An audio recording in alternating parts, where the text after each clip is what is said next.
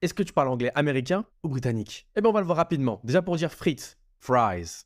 Ou alors French fries, chips. Pour les baskets, sneakers, trainers. Pour le canapé, couch, sofa. Pour les courgettes, zucchini, courgette. Pour l'appartement, apartment, flat. Pour le pantalon, pants, trousers. Alors, plutôt américain ou britannique? Dis-le moi en commentaire.